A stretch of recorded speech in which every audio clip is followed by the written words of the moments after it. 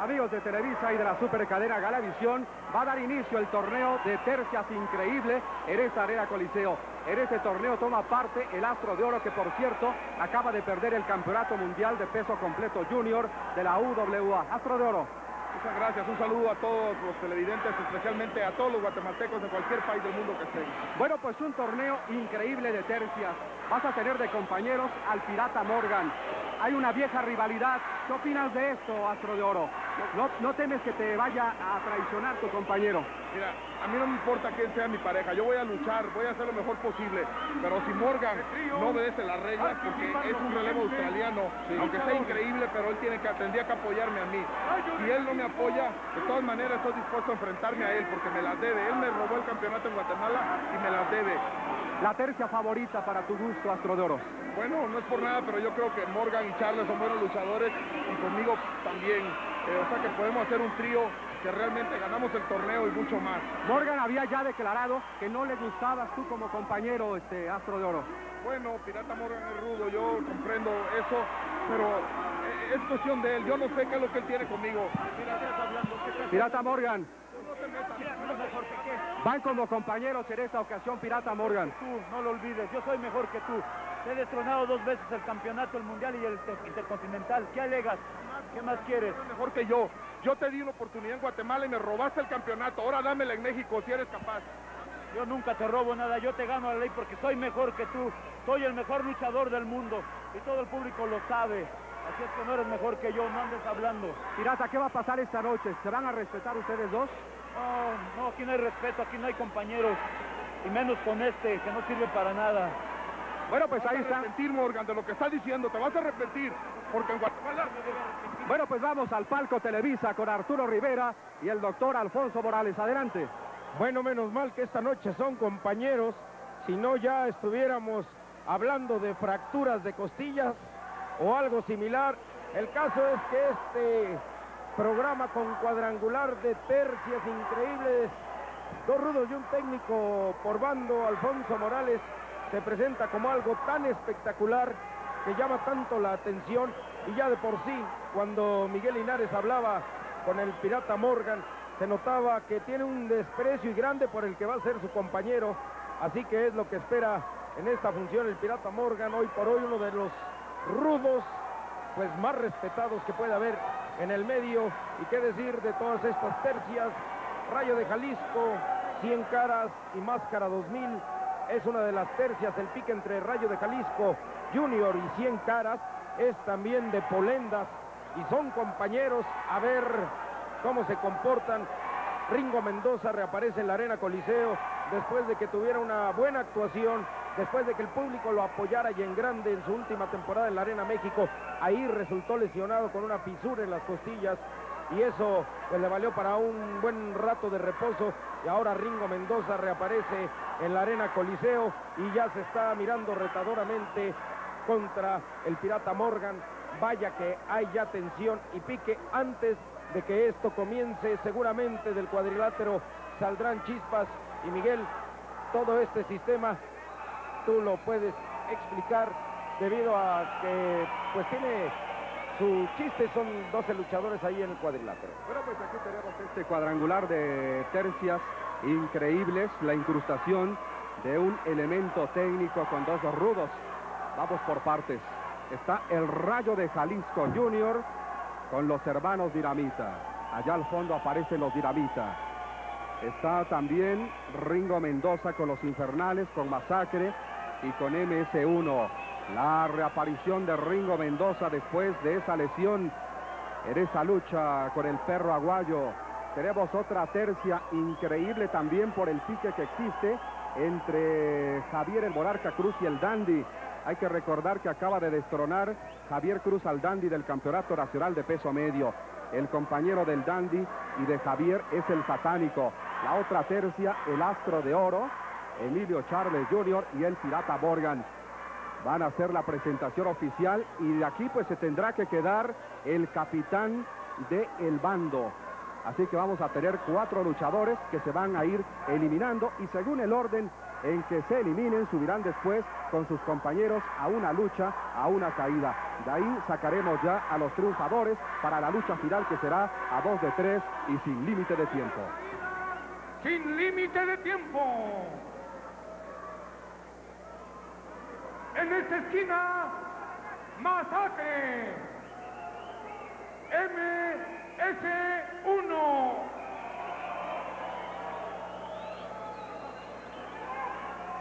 capitaneados por Ringo Mendoza. En la esquina contraria, Satánico. Javier Monarca Cruz, capitaneados por el Dandy. Bueno, pues no se ha quedado, los eh, capitanes no se han quedado en, en este inicio de este torneo sino que nos vamos directamente al enfrentamiento entre el dandy satárico y Javier Cruz contra los infernales y Ringo Mendoza. Todo está listo para llevarles esta caída. Adelante, doctor Alfonso Morales. Gracias, Miguelito Linares. Bien, señoras y señores, estamos aquí en lo que es la reaparición de este indio de Mezcala de la Asunción, el ex campeón mundial de los pesos semicompletos. Ringo Mendoza, el hombre que está castigando a Roberto Gutiérrez, el dandy, que ya ha dejado de ser campeón nacional. En esta bellísima toma se puede apreciar al fondo al gran Davis. A este referee de alma negra que es una, una auténtica fiera. Un hombre que no se puede definir a qué bando corresponde como referee, porque a veces tiene actuaciones verdaderamente complejas. Esto se llama relevo increíble porque es increíble que se pueda amalgamar un rudo con un técnico.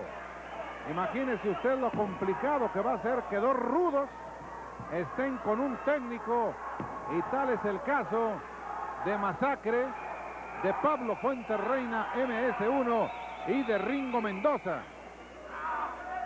Mientras tanto, los rudos permanecen en cada una de las esquinas. Y nos tenemos que referir a que hay dos tercias que ya están en los vestidores. El sorteo así ha definido. Veremos dos caídas extras de lo que serán tres caídas reglamentarias en una confrontación. Aquí el que gane pues estará a salvo, estará a bordo de la tripulación de la suerte. Aquí están castigando a este hombre que perdió el campeonato mundial frente a Pedro el Perro Aguayo. Este indio grande de Mezcala de la Asunción cuando les recordamos que hoy está reapareciendo después de que lo atendieron algunos ortopedistas de esa lesión. Exactamente en la costilla derecha. Y nos referimos a Ringo Mendoza. Ringo Mendoza, uno de los luchadores de más alto nivel técnico un hombre que junto con su hermano Cachorro Mendoza han sido grandes en cada una de sus divisiones.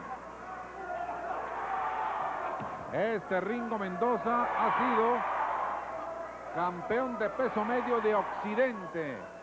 Y esto fue en 1973, cuando venció a Pedro el Perro Aguayo. Por su parte, su rival el día de hoy Roberto Gutiérrez, el dandy, es de Guadalajara, Jalisco. Un hombre que no pudo demostrar la clase frente al sensacional Atlantis, al ídolo de los niños, cuando aquí estamos viendo el puente olímpico. El derribe sobre Ringo Mendoza, que se está doliendo. Lo que es la lucha libre, la lucha libre profesional es diferente a la lucha libre que se practica en Juegos Olímpicos, en Juegos Centroamericanos y que ahora en los Juegos de la Amistad también están funcionando. Dispónganse ustedes a presenciar al nuevo campeón mundial de peso medio versión NWA, el hombre grande de Tequila, Jalisco. Un hombre que ya es reconocido cuando masacre Radamés Cocó, el gigante, que hoy reaparece, así lo están sometiendo. Miembro prominente de los infernales. Ahí le está llamando la atención porque considera que le jalaron el pelo. Y aquí va a aplicar la japonesa sobre este Javier el Monarca Cruz. El Monarca estuvo a punto de que se mote, de que ese sobrenombre se le diera a José Luis Barajas el Faraón, el de Guadalajara, Jalisco. Aquí lo están sometiendo. Vean el talento, la sacada de lado, pero no lo suelta Javier el Monarca Cruz. Radamés Cocó le supera casi en 24 kilogramos a Javier el Monarca Cruz. Este Javier el Monarca Cruz le vimos llegar a la capital de la República Mexicana, un hombre. Es discípulo de Pedro Anguiano. Aquí estamos en el dorso.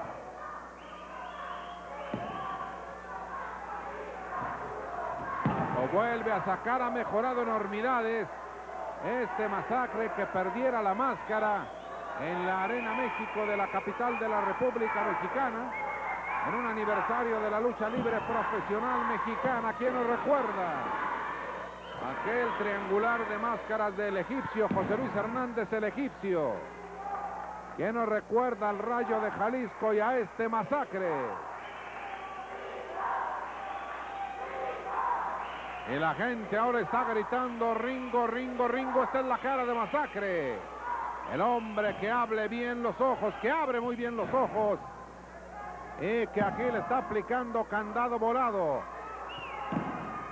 a este joven que ha dado excepcionales luchas en el puerto de Acapulco. Allá en Acapulco Guerrero no quiere saber nada y lo que ustedes van a ver a continuación es una repetición de lo que se apreció con anterioridad. Anteriormente borró del mapa Daniel López el satánico a Pablo Fuentes Reina MS1 y le está contando Davis. Y en las alturas que se registra una enorme entrada le dice nene no me tengas miedo. La semana pasada barrí contigo y voy a hacer tru más de 107 kilogramos de Pablo Fuentes Reina rudo rudísimo enfrentándose a su maestro Daniel López Satánico que le iba a aplicar una japonesa y vaya derecha que le pusieron de manera severa. Dice, no quiero nada. Estuvo a punto Pablo Fuentes Reina de no luchar hoy porque dice que no quiere saber nada de este satánico porque lo considera traidor. Con la truza blanca aparece Roberto Gutiérrez el dandy y el indio grande de Mezcala de la Asunción. Aplicó las pinzas como aquellas que inmortalizara el enorme Black Guzmán. Black Guzmán Huerta, nacido en Tulancingo, Hidalgo. Y la gente se le entrega a Ringo Mendoza. Ahora viene el de mayor tonelaje, este masacre. Pero enfrente tiene a un hombre que es poseedor de una gran calidad luchística de Guadalajara, Jalisco. Javier el Monarca Cruz. Vean las patadas voladoras. Pocos como Javier el Monarca Cruz, pocos. Con su técnica, con su dedicación, con su carisma. Y el gigante petrolero Masacre se está... Este brazo que pone horizontal a este Roberto Gutiérrez el Dandy. Mientras tanto, el hombre del pelo ensortijado así responde. Lo lleva a las alturas. Vaya, vaya crush. Es que el peso de Pablo Fuenterreina siempre será determinante. Siempre será interesante. Siempre será definitivo. Si no recuerden aquella confrontación de cabellera contra cabellera de Salomón Grondi, el granjero de Kentucky y el sensacional Porky Porky. El brazo de plata. El peso fue el que lo venció. Nada más le sacaban 100 kilogramos. Era la diferencia. Arturo Rivera, eso no es mucho.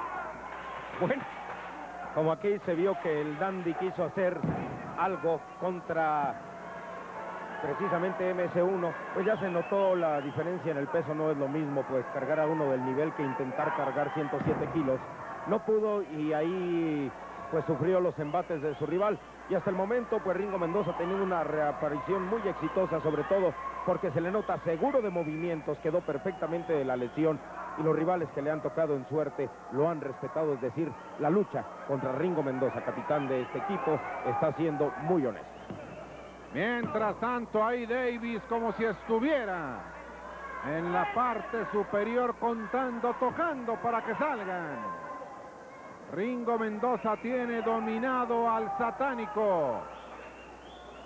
Pero vean la fuerza para que aplique ahí lo que se llama una huracarrana. Aquí está aplicando la cruceta, jalando fuertemente. Castigo sobre la pierna izquierda del satánico que se gira. Este hombre tiene los recursos de la lucha olímpica, de lo que en ocasiones también se conoce como lucha greco-romana. Y el satánico lo está llevando. ¡Qué colmillo retorcido, Arturo! Exactamente porque ya se está empezando a zafar e incluso a tomar ventaja. Ya se ve el satánico sobre Ringo Mendoza que ahora tiene posesión, ya lo llevó, ya le dieron la mano, tiene que haber cambio, ingresa el Dandy, pero algo ahí sucede que los referees no dejan claro, tiene que estar un poco más atrás según se indica, pero aquí no hay respeto y en ocasiones pues esto viene a adelantarse con lo que era una lucha que estaba emocionando a todos por su calidad, ahí los dejan, se zafan y ahora sí vienen los relevos. Se está doliendo de la rodilla derecha el indio grande de Mezcala de la Asunción. Por ahí, por el Balsas, está este risueño poblado del estado de Jalisco. Esto ha sido el Balsas, mi querido Arturo, al maratón náutico. Al maratón náutico. Pasas por Mezcala. Exactamente, es una de las paradas obligadas. Ese es el sitio que vio nacer a Ringo Mendoza que a base de fuerza se lo lleva para un suple que pone quieto a Roberto Gutiérrez el Dandy. El toque de espaldas olímpico de Pablo sobre el satánico y allá le hace una especie de corbata masacre a Javier el Monarca Cruz. Qué forma de terminar y Pablo Fuente Reina se está riendo y le dice, no, que usted era mi maestro. El maestro soy yo. Le dice, te quieres incorporar, será cuando yo lo decida. Pero ha sido una lucha interesantísima. La recuperación de Ringo Mendoza es asombrosa. Nos vamos al ángulo de la repetición. La patada a la Filomena, no nos cansaremos de recordar, vean esto. Es de 24 quilates a base de fuerza. Después del lance que inmortalizara Roberto González Cruz. El famoso solitario. Se lo llevó a, a base de fuerza y le hizo lo que se llama el suplé. Ahí una corbata sobre Roberto Gutiérrez el Danti desde otro ángulo de la acción. Se va a ver cómo están sometiendo con esa patada la Filomena a Roberto Gutiérrez el Dandy. Este lance valió toda la noche. En el giro soltó la espalda plana y se queda el escenario desierto y les recordamos que Televisa tiene la mejor lucha libre del mundo.